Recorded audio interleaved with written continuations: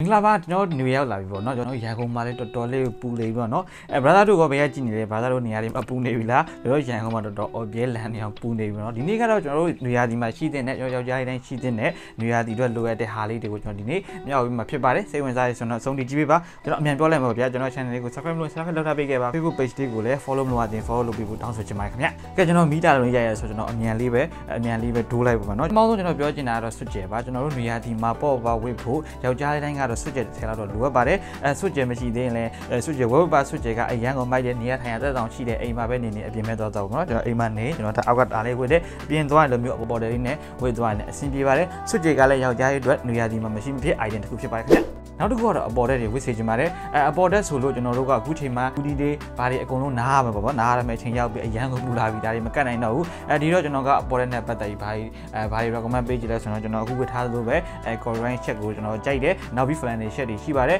အဲ flannel check တွေဆိုလည်းဗမာဝေဗမာချာချာပါ flannel တွေပေါ်ပါတယ်ဒီတော့အပေါ်တက်ထဲကတော့ယောက်ျားရတဲ့မရှိမဖြစ်လူရည်တဲ့မရှိမဖြစ် item တစ်ခုဖြစ်ပါတယ်ခင်ဗျနောက်တစ်ခုကတော့ဘောင်းမီတိုပါအဲဘောင်းမီတိုကတော့ယောက်ျားရတဲ့မရှိမဖြစ်ပေါ့နော်လူရည်ဒီမှာကျွန်တော်ရဲ့ဘော်ဒါတွေပြောပြောနေတဲ့ဟာဆိုရင်အဲ JJ ဘောင်းမီနဲ့ဆွတ်ကြဲဝတ်တော့မယ်ဆိုရင်ဘာသာတွေပေါ့နော်ဟုတ်ပါတယ်ဘောင်းမီတူကလည်းနေရာဒီတက်မရှိမဖြစ် item တစ်ခုဖြစ်ပါခင်ဗျဘာသာတို့ဒီကြီးဘောင်းမဲ့ဝတ်ဝတ်ဘောလုံးဘောင်းမဲ့ဝတ်ဝတ်နေရာဒီမှာဝတ်ပါဒါတွေဝတ်ဖို့အချိန်ကြောက်ပါပြီနောက်တစ်ခုတော့ဂျင်းတွေပါဂျင်းကြိုက်တဲ့ဘာသာတွေဒီအချိန်မှာအရန်ကို type ဖြစ်တဲ့ color တွေအမဲတွေအနက်တွေအဲရှောင်းရပါမယ်ဘာလို့လဲဆိုတော့ဒီအမဲတွေအနက်တွေကနေရာဒီမှာဝတ်လိုက်ရင်ပို့ပြီးတော့ပူပါတယ်ကျွန်တော် black body ဖြစ်တဲ့အတွက်အပူဆုပ်ပါတယ်အခုကျွန်တော်ကတော့ဂျင်းပေါင်းပြီဆိုရင်တော့လူတို့အဲနောက်ပြီး sky blue light blue ပေါ့နော်အဲ့လိုဂျင်းပြားလေးတွေကိုရွေးနေခြင်းပါတယ်ဒါတော့ဂျင်းကြိုက်တဲ့ brother တွေအတွက်ပါဒါကောင်တွေကလည်းနွေရာသီနဲ့ live ဖတ်တယ်မျိုးလုံးနဲ့အေးတယ်ပေါ့နော်အဲ့တခုကတော့အုတ်ထုတ်ပါကျွန်တော်တို့အုတ်ထုတ်ကလည်းဒီနွေရာသီမှာမရှိမဖြစ်လိုအပ်တဲ့ item တစ်ခုပေါ့နော်အဲကျွန်တော်တို့သပင်းတွေနေမလောင်အောင်အဲနေနဲ့တွေမနှမ်းအောင်နောက်ပြီးတော့အဲဥယျာပြားတွေမချောက်အောင်ဘောက်တွေမထအောင်နောက်ပြီးတော့မပြောင်းပါဗျာ